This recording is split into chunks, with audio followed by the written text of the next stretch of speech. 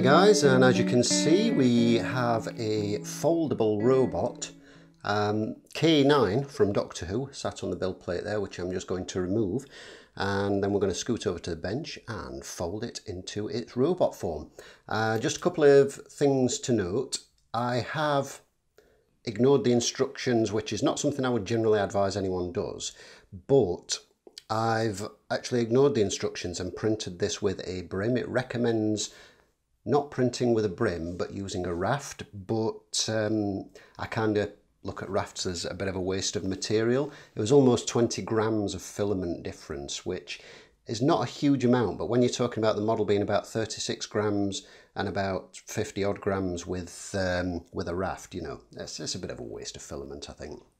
So I've printed this with a brim uh, which should as far as I can see should be easy enough to separate from the rest of the model um, because you can see obviously where the, the folding areas are and everything. So we'll see how that goes in a minute. We'll just uh, remove this from the build plate and scoot it on over to the bench. And I'm just going to have a quick prod at this and see. Ah.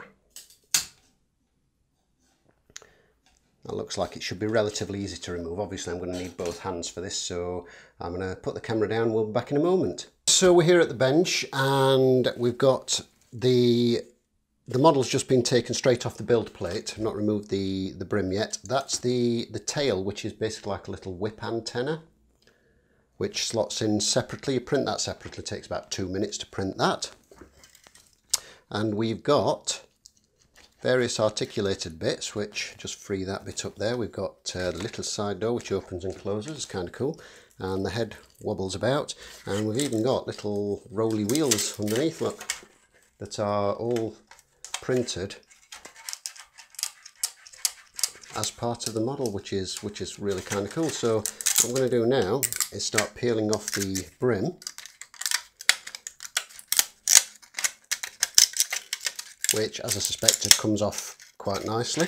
Uh, I used the brim just purely to prevent curling because I um, I have experienced curling and lifting at, at the corners on larger prints and while overall this isn't a large print it's it covers pretty much the uh, the whole of the build plate in its laid flat unfolded form so because of that it's it's technically a larger print um, so I'm just going to go ahead carry on peeling the rest of this and we'll be back in a moment. You can see there that the the brim lifted off almost entirely in one piece quite cleanly. These, these few little bits here were some little edge bits that stuck that I had to just pick off, work my way around and pick off and it worked fine.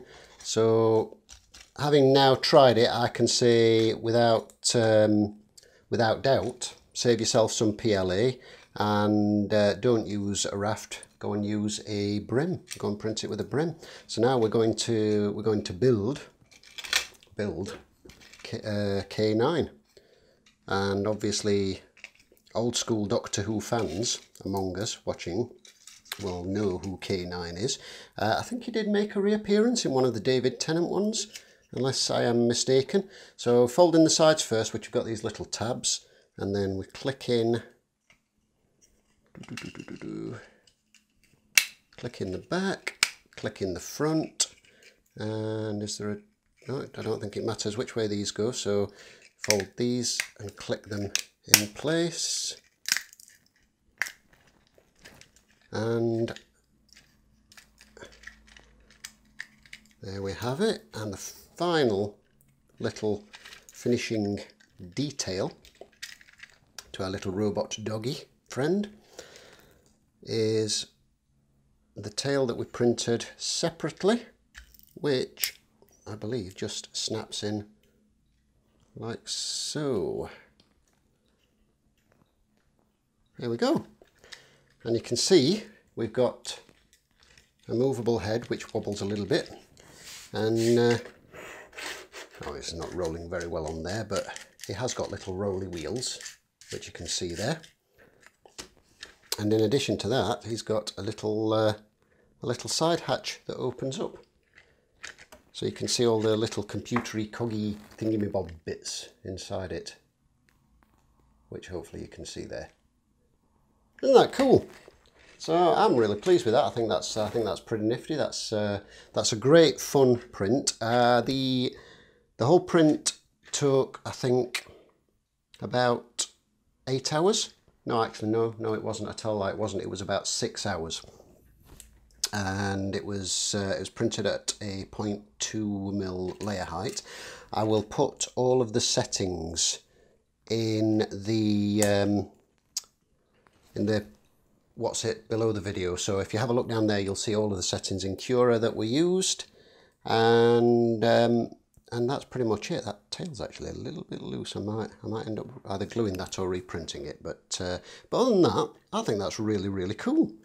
That's just such a great fun little print. You could of course print this in a silver PLA and just leave it as it is, and uh, or you could do as I've done and print it in whatever PLA you've got. I've just got this, this white colour because my intention is to print things to paint anyway. And at some point I will uh, throw some paint on that and give it a bit of a paint up. So there you go. Thank you for watching. We'll see you in the next video.